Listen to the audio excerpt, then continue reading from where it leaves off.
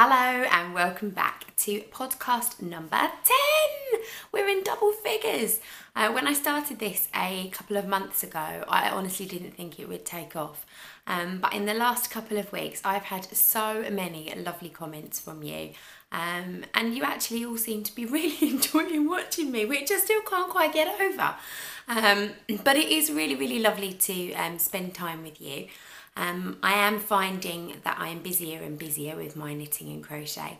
I think it helps that my husband's away on business at the moment, so quite a few of my evenings, once the kids have been put to bed, have been spent just enjoying watching crappy telly, catching up on podcasts, um, and getting lots of knitting and crochet done. So I've had a few more podcasts. So when he gets back later in the week, we'll see. I might not get quite so many done for you. But anyway, so for those of you who are new, my name's Claire and I run Beautiful Things, which is a craft studio in Brentwood in Essex, where I teach crochet, sewing, dressmaking, and lots of different crafts. Um, we have a knitting tutor who works for us because I can't knit. Well, I can now, but I couldn't knit. Um, and she is teaching me, alongside many others, how to knit. And that is becoming my hobby, which I'm thoroughly enjoying. So, this podcast is mainly about crochet and knitting, um, and occasionally the odd bit of sewing, fabric, and craft sneaks in. But I do try and keep my sewing videos separate to my podcast so that you can see um, what I get up to on the dressmaking and sewing side of things. So, thank you for tuning in if you are new. If you're an existing viewer, thank you for coming back. Um, I will have lots to show you today, things that I've been doing and things that I'm up to. Uh, but if you want to follow what I'm up to on a day to day basis, the best place to find me is on Instagram, where you'll find me as Arty Farty Mack. And on Facebook, you'll find me at Craft Classes at Beautiful Things. Now, for those of you who've been following for a while, you'll know I mentioned that I have two Facebook pages, one old and one new. And finally, Facebook has decided that they are in the process of merging my two pages. But to do that, they needed to make them both have the same name. So it is incredibly confusing now for any of you new trying to find me to discover which is actually the correct page to come to. So I will tell you, there are two little avatars for my two Facebook pages. One is just a brown circle with my lovely little flowers in, just like pop up at the beginning of some of my videos. And the other one is a white circle with my flowers in and it says on the circle, craft classes are beautiful things. That's the one you want, okay?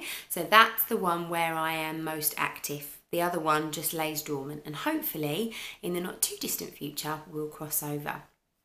So, excuse me while I just check my notes. I want to just check I'm not forgetting anything. But the last thing I need to say is we do have a Ravelry group for the podcast where you can go and catch up on each week's podcast. So you can um, leave me messages and notes on the things that you've seen or watched. Um, and it's also a place where if you're taking part in any of our CALs or our giveaways, um, then all the information that you need is on there. So you can find that. That's just a beautiful things group on Ravelry. Otherwise, keep liking my posts, please keep commenting below, and please keep hitting that big red subscribe button, and that way you will be notified whenever I post a new video. So let's get started. We're going to start with FOs. I don't have any. well, actually, I do. I have some cute little Christmas decorations which I knitted in a knitting class this week, although I'm really sorry I've left them at work. So I will bring them home, and when I do my next podcast, I'll show them to you. But they're very sweet. We made little Santas with big fuzzy beards, and we used the old fashioned knitting method of wrapping our yarn around our fingers to make big loops. So I remember my grandma making me cardigans in that way. Um, but she must have had an awful lot of patience because Santa had about 12 loops on his beard and it probably took me a good half an hour. So, yes, I'll show you those another day. So, I haven't got any FOs to show you, but I have been really, really busy getting on with things. So, I'm going to start with what's on my hook. Now, the first one to show you is my Truly Hooked Eliza top. Now this is part of our Eliza CAL and it's not too late for you to join in if you want to. Um, we are crocheting the Eliza top which is a pattern by Truly Hooked here. Um, it's been written by Verity of Truly Hooked Yarns um, and she hand dyes all of her yarns so she's based um, Nottingham way I think. So I am using, what's it called? This is called Out of My Shell and it's her Sparkle Sock Weight yarn. So let's see if the camera's going to play ball today. Mm, don't think it likes it. Oh, there we go. So it's really lovely and sparkly. Um, and it's in really luminous colours. So there's like fluorescent pink, fluorescent yellow and blues. Now I've got quite a long way with this, as you can see. So I've got right down, sort of, I'm probably down below my bust now. That's the back that I'm showing you. It's below my bust now. I'm not going to try it on for you, not yet. Um, but you can see it's doing some really nice pooling here. I am changing the ball of yarn that I use every four rows to stop it from pooling up too much, um, which is what Verity recommended I did. But it's ever such a simple pattern. It's got this lovely kind of scallopy loopy um, few rows around the top and then it's just straight trebles down to the bottom and then more of these scallopy loops. Um, and then you can put sleeves in as well. So this is really lovely. It's ever so quick to crochet. I know there's quite a few of you who are joining in um, with this particular CAL. Um, it doesn't finish until the end of November so you've still got time to join in. Um, but just do pop over to the um, group and say that you're taking part and show us the yarn that you're planning on using. You don't have to use truly hooked yarns. Um, you can use any four ply um, or sock weight yarn to do this. Um, and I am doing two prizes, one for people who are using truly hooked yarn and one for people um, who are using alternative yarns. Um, so if you are new to crochet, it is a really easy pattern and if you haven't made a garment yet, I would strongly suggest it's a really good one to do. It grows ever so ever so quickly and there's lots of people taking part um, so if you do get stuck, you can always pop onto the Ravelry group and ask for help. So that's our Eliza CAL. Um, so I'm enjoying that. I've done quite a few rounds of that. That's just a really good one for late at night. It's just, I've got to a bit now where it's just straight trebles all the way around. Um, so I'm getting that completed quite quickly and it's growing very quickly. Also on my hook is my contour shawl by Joanna Scrace. That's this pattern here. I'm doing this in lace weight yarn um, that I picked up at Yarndale a couple of years ago and I haven't still got the um, band for it so I, I don't know who it was. I have a feeling it might have been for the love of yarn um, but I'm not 100% sure. But this is really coming up brilliantly. I've done lots of this. I love the way it's kind of got this point on one end and then it kind of curls round a little bit um, at the other end. So it's not 100% symmetrical, uh, but it's beautifully working up. Let's see if I can get it to, uh, oh yeah, look, it's really doing, doing its thing tonight. Um, you can see you've got this lovely ridge on it. I won't tell you too much about it because obviously it is a paid for pattern, um, but it really is working up beautifully. I'm really, really pleased with it. And it feels, although it's lace, so it's very thin, it feels really squidgy. Um, and I think it's going to look lovely um, as a shawl. So that's growing. Um, I've been working on that quite a bit this week. Again, it's another one, it's good for late at night. The pattern's fairly simple once you get your head around it. You can just repeat it over and over um, and it's just doing straight double trebles. so it's nice and easy. This is a little bit cheeky, this next one. It's not strictly on my hook, it's on my mum's hook. but mum um, kind of got on that I had um, been working on my granny square cardigan um, and she has been busting her scraps too. And she's given me today all these squares that she's done for me. So these can all go towards my cardigan. I really must do the maths and work out how many I need um, so she doesn't go too crazy. But I think there's a good few hundred. So I must say I'm in my kitchen tonight, so sorry about that. It's not particularly crafty behind me. In fact, you can see my cookbooks to my left, a lovely big pumpkin that my daughter went and got from the pumpkin patch this weekend, um, and my gin collection. Uh, but the light's really good in here. Um, it's nice and bright and it's really dingy in the conservatory. So I've only got this evening to film this podcast because I'm super busy all week. It's now half term here in the UK, so the children are home with me all of next week. So I wanted to get one filmed for you, so you're going to have to put up with the kitchen. Also, what you might hear is thudding in the background, and if you do, that's my elephant of a son in the room upstairs. Um, I don't know what he's doing up there right now. I've told him to be quiet, but obviously bumping around on the floor um, doesn't count as noise to him. So I apologise if you can hear that. So that's what's on my hook. So I have been quite busy um, with my hook, but not massively. I'm going to now show you what's on my needles and I'm going to get you to help me make a decision. And I know what the answer is, but I don't want to hear it. so I've been knitting my sleeves for my Taliesin jumper. I don't know if that's how you say it, but it's a funny one to pronounce. So I've been doing them two at a time. So I've got two balls on the go here. Ooh, they're all a bit tangled up in my bag. So I've been doing them two at a time. You can see they're really working up nicely.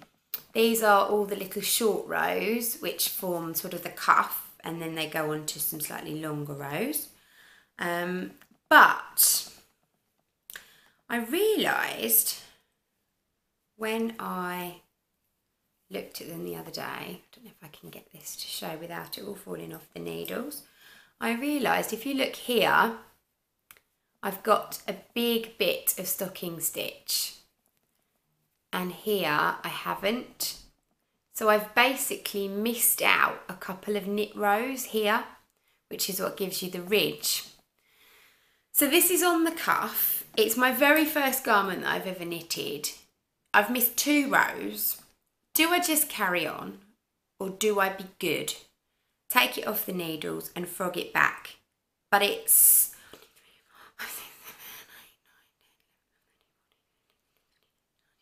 a good 35 rows back.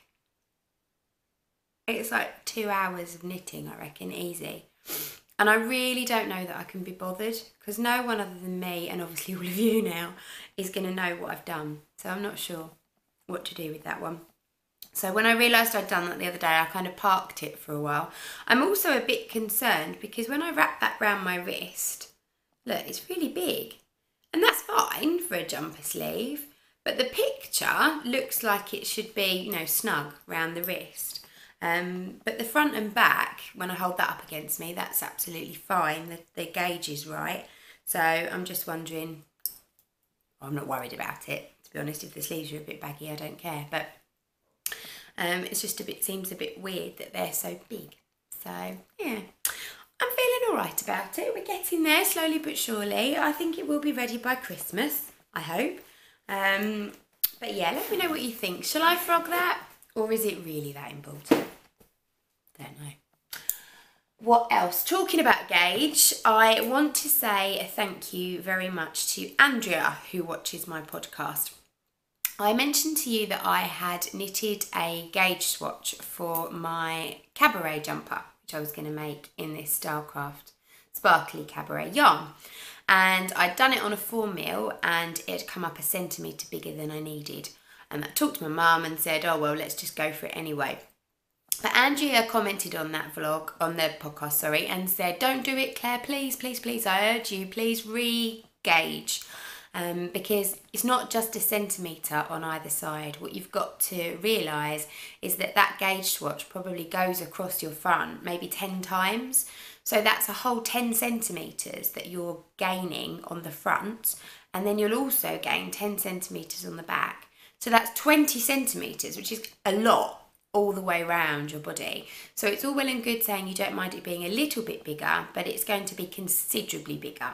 Um, and she's totally right. And thank you, Andrea. I really should have known that. I mean, I'm a dressmaker, so I understand um, how fabric works and adding extra fabric to seam allowances, etc. So really, I should have should have thought about that a bit more. But thank you for alerting me to that because I have paid attention and I have re-swatched. So I'm not going to start this jumper yet. I'm being good. Um, something has actually jumped ahead of it but I'm being good. But I didn't just do a regular gauge swatch I actually researched the best way to do them.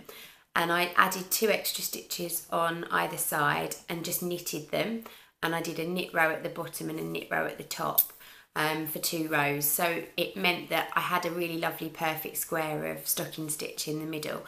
And I've gone down to um, a 3.75 um, needle, which I believe is the old old nines. here. Old English money. Um, I don't quite understand all of that to be honest. Um, and I'm much, much happier with it. It's really nice. It's perfect. It's 10 centimetres by 10 centimetres.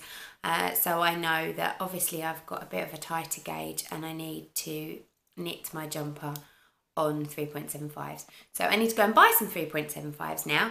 Uh, and I'm actually not going to do that yet because that's going to stop me from casting the jumper on. And I did start to worry that I was getting cast onitis and I don't want that to happen. But I have been good, so thank you, thank you, thank you, Andrea. Um, I do love all of you because you all leave such lovely comments, um, and you sometimes really do get me thinking about what I do and why I'm doing it. So I'm very, very grateful for that comment. It has made me think. What else have I got to show you? Aha! My Swedish socks.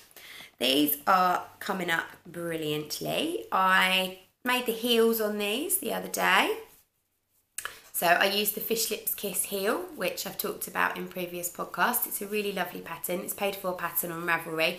It's only a dollar or two dollars or something silly. So go and buy it because it's very good. I'm not going to tell you anymore, but it is very easy once you get your head around it. And as you can see, I have started to knit the foot. So I'm just on the plain vanilla section. This is knitting up so quickly. I was at my mum and dad's for dinner tonight and I've done I was on the green bit when I got to them. I probably only knitted for half an hour, so I must have done about nine or ten rows um, in half an hour. So that's good. So I reckon they could be an FO fairly soon. Uh, they will just have to get the foot finished and the toe done.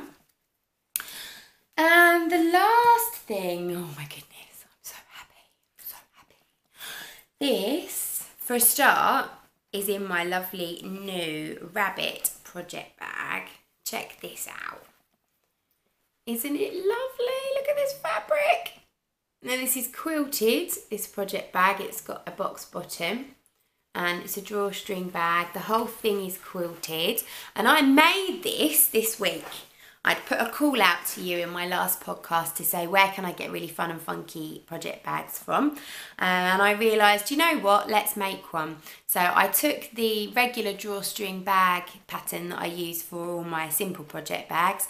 I made it a little bit bigger and I played around and I quilted it to give it a bit more sustenance. And I also put this um, strap on it and I really love this, but it's because it's quilted, even though I up the size of it, it's still not really that big. It's fine for, you know, I've got one ball of yarn in here in a project. So it'd be fine for more than socks. So a shawl project, shawl size, it would probably be all right. But for a jumper or anything, it wouldn't really be big enough. So I have already cut some fabric. I've actually doubled the dimensions that I used for this. And I'm going to see how it comes up. I have a feeling it might come up too big. It could be the ginormous size jumper bag, um, but we'll see. So I'll try and get that made um, in the next couple of weeks and I'll share that with you um, on my next podcast or two. But inside here, my, as I said earlier, my husband's away at the moment for business. Um, my children have been staying at grandma and grandpa's this weekend because I was working all day yesterday. So I took advantage of letting them stay over one more night. Went out for dinner with my girlfriends last night and then today I had all morning and all early afternoon at home on my own. So I ignored the housework and absolutely everything. I stayed in my pyjamas until three o'clock and I cast on my void shawl. And I'm so pleased with myself. I followed a pattern, but like a really, not hard apparently, but to me, a really tricky pattern. So check it out. Look at that. That is the first two pattern repeats done. Um, it's cast on in the middle and then you work your way out. I'm not going to tell you anymore because again it's a paid for pattern but I am so so proud of myself. Um, I've got um, a, I keep umming, sorry. I've got a lifeline in here that I put in at the end of the first pattern repeat because I figured if I balls it up at least I've only got to pull it back eight rows and I'm going to move that up now before I start the next pattern repeat just for a little while until I get my head around it but there are one two three four new stitches in this I've never done before So I had to go off and look them up on YouTube um, and find some tutorials to help me. Um, but I did it slowly but surely. I knitted the first eight rows and realised I understood it, but it was really messy. I wasn't very happy with it. So although it had taken me about an hour and a half, I did frog it right back and start again because I thought, you know, it was a bit more of a learning curve for me. So I'm really, really pleased with it. So I'm going to do some more of that tonight. So I should just say this is the Void Shawl and it's by Melanie Berg. There you go. So it's a paid for pattern on Ravelry. I think it was about $6.50, something like that. It's the shawl that Katie from Inside Number 23 has recently made. I'll try and pop a picture up here for you. Um, and she wears it all the time. And every time she's got it on in her podcast and her videos, she always looks so cozy. Um, and I really, really, really want my own. So this is my challenge to myself. I'm really, really proud of myself because actually, I don't think it can't get any harder. Okay, I could make a few more mistakes, but I know what to do now, so there is absolutely no reason why I shouldn't finish this shawl. I'm also loving that using four and a half mil needles, I should say they I'm using the um, Symphony, Knit Pro Symphony on a fixed 120 cable. They're four and a half mils, but that and a DK weight yarn, it just grows really quickly and it's really nice to knit because I'm used to fiddly little socks and fiddly little sock yarns. So I'm making this for our Misty CAL. This is James C. Brett Misty Yarn. And if you haven't watched my last podcast, then please do go back and have a look. We are doing a Misty CAL, so you can knit or crochet anything you like in any of the James C. Brett Misty yarns. And the reason we're doing it, quite a few people said, oh, you know, why are you using yucky acrylic yarn? Um, but the reason that we're doing it is because we are trying to support our local wool shop, Tilly's Wool Wagon in Battlesbridge in Essex. And she is a very small little wool shop, but we want to keep our local yarn shops alive. So this is one of the yarns that she stocks and I've been in and I felt it and I squished it and I liked it and I loved it. It's £2.50 a ball so it's not expensive. So it's ideal if like me you want to challenge yourself to something new um, that you think you could well muck up and you don't want to use expensive yarns to do that and make those mistakes. So what you need to do, you can still take part, there's no deadline on our Misty CAL, it's going to go right through into the new year. If you like the yarn, and I'll put a picture up here of all the six colours that you can get. If you like the yarn, you need to contact Gina, who owns Tilly's Wool Wagon. I'll put her details in the down bar below and you need to order your yarn. You can either go in and buy it from her shop or if you live um, anywhere else in the UK, then she'll post it to you and she'll tell you how much you need to do whatever project it is you want to do. And if you live internationally, you can still take part because I am able to ship that to you. I can pick it up from Gina and I can ship it to you at a really, really reasonable rate. Um, and we can get it to you quite quickly because I have access to couriers. So you don't have to worry too much about crazy postage prices either. We would love people to just join in and take part. As I say, you can make whatever you like. You just have to knit or crochet something using the James C. Brett Misty yarn and it has to be bought from Tilly's Wool Wagon. And there's lots of chatter on the Ravelry group page, so do pop over and have a look. So when I've finished filming this tonight, I will get it edited and up and then I'm intending doing another eight rows on my void. So dead, dead, dead chuff, can you tell? I'm really proud of myself. Um, so I'm just going to pause for a second because we're coming up to that half hour mark and I know Mr Camera doesn't like filming more than that and I'll be back with you in just a second. Okay, so in my last podcast, I did mention that we were trying to support local wool shops, and I mentioned a wool shop in Southend. Now, I did think I'd say to you that very, very sadly, that wool shop I've now remembered was called Gades, and it's a lovely yarn shop in Southend. But unfortunately, one of my regular viewers and pupils, Viv, uh, visited Gades last week and she informs me that sadly they are closing down. So there's another reason that we must, must, must support our local wool shops. We've got to get them up and running again and surviving. It is really important. It's something I'm extremely passionate about. It's very sad to see yet another local business um, go under. Unfortunately, the rates uh, that the councils are charging for shops and things are so high that it really is just pricing people out. That coupled with the fact that so much yarn is available online from all the big companies online that people aren't necessarily supporting their local wool shops. So if you have a local wool shop in your town, please go in, go and say hi. Um, even if you just pick up a really cheap ball of double knit, that's a little bit of something going into their till and it will help them and keep them afloat. I am hopefully going to start a new crochet and knitting club in the new year. And what I want to try and do, although we don't have many knitting and crochet shops, is I want to try and support some of our other local independent businesses. So we do have lots of really lovely restaurants and cafes and local tea rooms and things like that, and garden centres, etc., near where we live. So I'm going to try and set something up on a monthly basis where we go to a different place every month for a regular get together, sort of a crafty knitty natter thing.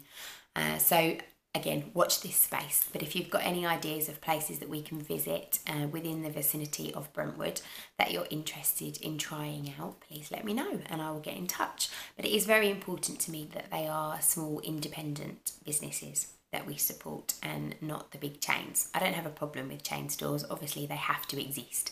Um, but it is really important that we all do try to shop local. So that was that. So acquisitions, I have a couple of acquisitions for you. The first one isn't amazingly exciting and I'm afraid it is acrylic again. Um, but my mum had two balls more of cabaret which I love, but in this gorgeous black and grey and silver colour. She'd bought this because she was going to try knitting the hitchhiker in it, but she found that actually it was just a bit too fluffy and it didn't show off um, the pattern very well. But I thought this would look gorgeous um, to make another of the Joanne Scrace contour shawls in, so my lace weight. It is designed as a shawl to be done in DK, um, so I figured it would be really super squishy and lovely and soft. And I absolutely love my road trip scarf that I have in this cabaret yarn. So my mum sold me her two balls of wool. so I will make a contour shawl with those at some point. The other thing, my favourite dyer, Little Boo Yarns, is back from a little break and she had a market night last Sunday. So both my mum and I have bought yarn from Little Boo. Now, unfortunately, I was going through all of the different pictures with her. We were actually out last Sunday night so we stopped in the middle of a dinner dance and we're going through my phone in a really bad internet connection, looking at all the pictures about eight o'clock. And the one that I really liked, which was a kind of rainbow colour, but a dusky rainbow, sold. The minute I literally pointed it to my mum and someone had commented and it had gone. But anyway, I got this one and it's called Time to Party. So I got two skeins and again, it's my favourite. It's a sparkle sock weight and it's in this lovely kind of magenta, purple, there's a lovely jadey green, turquoise in there. There's, um, let's just get one going on the go. You can see there's like a pinky lavendery colour and then this lovely tealy greeny blue. So there's some beautiful colours in there. I don't 100% know what I'm going to make with it. I think I probably might make another Eliza top uh, the other one that I've got obviously is very, very leery and very luminous but I'm not sure. But I love Little Boo yarns, and Deb's been away for quite some time. She's been poorly, and she doesn't dye all the time. So when she does, you have to grab yarn because it could be months before you get any more. So I got those two, and Mum got. I've kept hold of them because I wanted to show you. Mum got these ones, and it's called At the Disco, and this is really lovely. Again, it's sparkle sock so there we go, you can see it's this beautiful royal blue, black, purple and hot pink. So I'll just take one to show you a bit more. And it's really lovely. So it's got this gorgeous deep purples in with the lovely magenta colour and turquoise blue. But then the black in it runs through this beautiful sparkly black. So she's planning on knitting herself a hitchhiker. So she knitted my hitchhiker for me in my fruit salad colourway. So she's going to knit herself one in this. And she's got a lovely bright pink coat and a black coat. So it will go really nicely with that.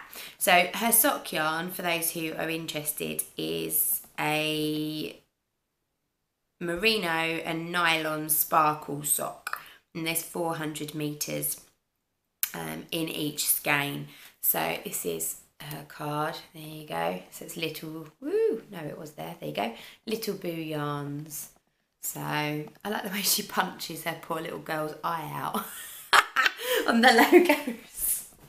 So again, Mum knows what she's doing with hers. I don't know what I'm going to do with mine. It'll probably go in the stash. Um, and I'll get round to it eventually. So it was acquisitions, and then I've just got general chatter for you. So it's a shortish podcast today. General chatter. I want to ask you, what do you wash your handmade socks in? So I've now got four pairs of hand knitted socks and none of them can go in the washing machine. They've all been worn and they're all in my washing basket and they all need to be washed. Do I just hand wash them in like travel soap or is there a special uh, detergent that I can buy to wash my socks in? So if you can let me know please, ideally something I can get in the UK. Um, I know I've got quite a lot of international viewers, uh, but I would like to know how you wash your socks and what you wash them in, please. The other thing is our favourite swap. Again, this was launched on my last podcast, so if you haven't watched it, you can go back and find out all about it. The favourite swap is sign up until the end of October, so Monday the 31st, so you've got a week. Um, and you will want to be sending your swap partner, the swap partners will be notified at the beginning of November. You want to be sending your swap partner something handmade, something yarn related, something yarn, so a little ball of something or a skein of something, it doesn't have to be expensive. The yarn related can be something like a stitch marker or a needle gauge or a row counter, something like that and something handmade can be anything you like and then a fun little something. Now it's called the favourite swap because you need to tell me what your favourite thing is. So I'm going to give you an example. Your favourite thing might be owls and you might be a crocheter. So you'll tell me if you're a knitter or a crocheter. And on the 1st of December, when everybody sends their parcels out, you will receive in the post something handmade some yarn, a yarn related something, and a fun little something. And all of those items will be focused around owls. So it could be that your swap partner makes you a project pouch uh, with owly fabric. She might send you a nice ball of yarn in kind of browns and creams and owly colours. And she might send you a little owl stitch marker and she could send you a little notebook with a picture of an owl on it for her something fun. So it's all related around your favourite things. So full details are in the groups on the group on Ravelry, sorry. you need to email me by the 31st of October with the information and the answers to the questions that we've asked for. And I will send you your swap partner on the 1st or 2nd of November. And then you've got a month to get all your bits and pieces together and ship them out on the 1st of December. So it will be really, really, really good fun. I'm really looking forward to seeing what everybody sends. If you are international, that's absolutely fine. You can take part. If you're in the UK and you don't want an international swap partner because you don't want the postage, that's absolutely fine. Just let me know in the email and I'll make sure when I pair everybody up that you get people that are suitable for you. So that's our favourite swap, and I'd love for you all to take part. I've already got quite a few of you all signed up. I've put the information in the down bar below, but it's also on our Ravelry group, so have a look for it on there. So, two, three more things. For those of you who watch all of my videos and all of my vlogs, you'll see that a couple of days ago I filmed the seamstress tag and the seamstress tag was set up by Holly from Holly Sews so that everybody who a dressmaker could film a video answering questions about themselves and use the seamstress tag as their title. But it meant then if you were looking for other sewers that you could type in seamstress tag on YouTube and watch all the videos from all the sewers. And it was such a good idea, a really, really good idea. And it's really taken off. So I thought what I might do, because there isn't a similar one as far as I as far as I know, and please do correct me if I'm wrong. I don't want to go out there saying it's new when it's not.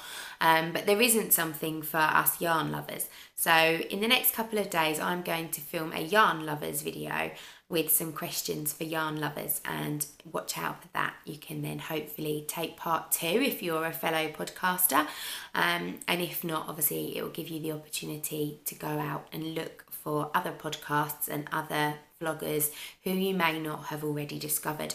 But do please let me know if I'm going to make an absolute fool of myself if something already exists that's similar because I don't want to do that. So comment in the down bar below. So I'm also going to do another live session on my Facebook page. I did a live session about three or four weeks ago now where I did a bit of a crochet clinic so people could ask me questions about crochet um, if they were stuck on particular things or had questions that they wanted to ask me. It went really, really well and had lots of people watching. It was really interactive and lots of fun. So I wanted to do another live session. So I've decided that I'm going to do that this Wednesday coming. So that is Wednesday the 26th of October and I'm going to go live at 9 o'clock PM. That's UK time. So it's going to be an Ask Me Anything. And what I'm going to do, obviously, is ask question, answer questions live. So you'll be able to type your question in the comments box under the video while you're watching, and I'll be able to answer your questions. And you can ask me anything. Um, anything sewing related, anything dressmaking, crafty, crochet, um, and I will try and do my best to answer your questions. It doesn't have to be troubles. You could just be incredibly nosy and want to know a bit more about me. Um, you might want to know, I don't know, what I like to eat for my tea. I really don't mind. Uh, you can ask me anything within reason, obviously. Um, but if you can't make it to the live session, then by all means, I'll put a thread up in the Ravelry group for Ask Me Anything, and you can put the questions in there. And then you can go back and the live video will stay on my Facebook page. So even when I've finished recording it will stay there and you can go back and check it out um, a few days later and I will hopefully have answered your question for you. So that's this Wednesday the 26th of October at 9pm on my Facebook page so I really hope to see some of you there. So the very last thing to tell you is business related. So if you've had enough and you don't want to know about um, my latest product that I'm launching, I will say bye for now. Come back hopefully and see my next podcast. But for those of you who are interested, just for a couple of minutes, we have just launched our latest semi-virtual crochet course and kit. I'll put a picture up here. It's our Wing It with Wool Tea Cozy course. So it's available for pre-orders now and the first 20 people to pre-order will receive a limited edition handmade teapot stitch marker which I've made myself and a little tea related gift and that will come with their kits. The kits are being shipped out at the beginning of November and you will have access to your online course from the beginning of November too. So if you want to find out more about our semi-virtual crochet courses then you can visit www.semivirtualcourses.com where you can buy our beginners course, our intermediate course, our amigurumi cacti garden course and also pre-order our Wing It With Wool Tea Cozy course. And the reason we call it Wing It With Wool is because you will learn how to make a tea cozy to fit absolutely any size and shape pot. So it is a really, really good course. And thrown in there for good measure is also how to make all the lovely flowers that adorn the top.